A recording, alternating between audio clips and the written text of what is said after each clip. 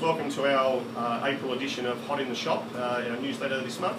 Um, within the shop this month we've had a lot of new deliveries from uh, new stock from FootJoy as well as Sporte Leisure. So as we are coming into to winter now, uh, we need to make sure we do keep warm when we are playing. We've got some nice uh, new products here in the range. We've got this uh, new FootJoy I suppose what we call it a, a pullover piece, which is uh, will keep you nice and warm. Just go straight over the top of your polo shirt.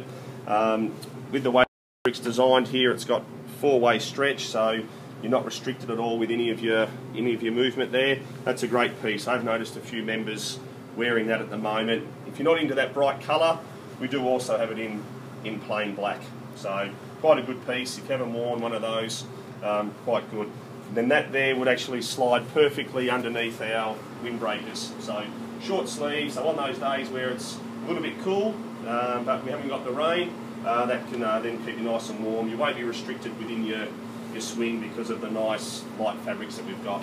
Then we can just work into our rain jackets. So it's FootJoy, uh, comes with three year warranty, um, also has the stretch and quite a good, uh, good jacket to keep you not only warm but also dry.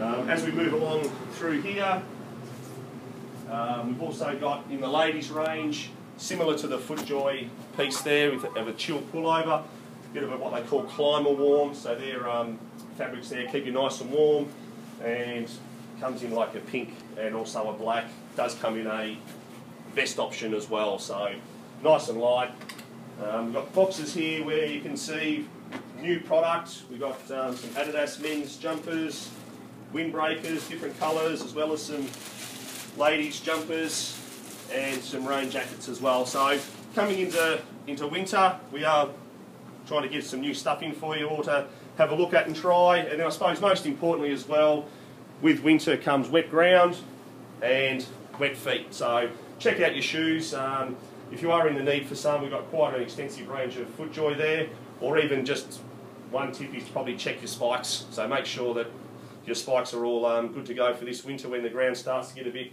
slippery and wet, um, and that can be as good as anything to give you some traction and stability on the on the course. So uh, hopefully uh, the weather stays nice and we can get out on the course and uh, play some good golf. Thank you.